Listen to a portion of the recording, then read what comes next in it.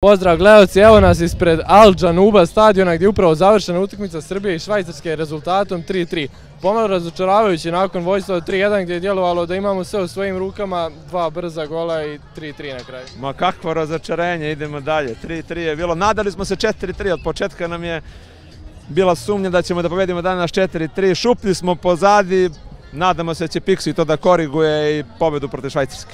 Sada treba da gledamo i Brazil Švajcarsku da Švajcarska po mogućnosti izgubi. Kakva su onda očekivanja od utakmice protiv Švajcarske? Može biti da nam treba pobjeda od dva razlike. Ma ko je gledao Brazil uživo, njemu je jasno, to oni peglaju lagano Švajcarci. Znači i dalje vjerujemo u Orlove i Pixije. Ma normalno, normalno. Zato smo ovdje do kraja. Srbija! 3-3 nakon vođstva 3-1, pomalo razočaravajući kako je sve djelovalo i kako smo primili ta tri gola.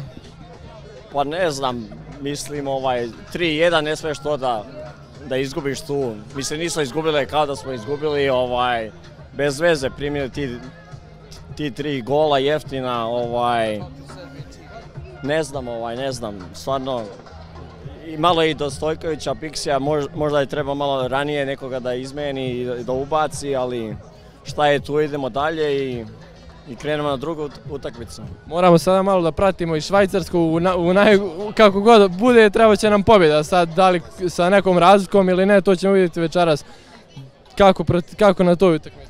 Pa ne znam, njima sad odgovara nerešeno sa Brazilom i Brazilci isto možda i njima nerešeno odgovara i neće da idu 100%, 100 unutra i ne moraju i šta je, ne znam, ako bude nerešeno, da, onda morat ćemo dva, tri razlika, onda da, da.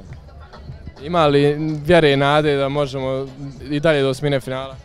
Pa kod Srba uvek postoji vera i nada i, također i sada do, do, zadnje sekunde, minute uvek se nadamo i, i teramo dalje. Hvala, nadat ćemo se do kraja. Serbia play much better. Serbia should have won the game 4-3 or at least 3-1. Yeah, but unfortunately we don't. You didn't use the the fastness and the sharpness of the first half, especially first 20 minutes. You could easily win the game. What do you think? Can we beat Switzerland? I think so. With the game I seen, you have a very, very good uh, bunch of players, work together hard and fast. I'm sure you can do better. But if you use better opportunities, you were the winner of the game.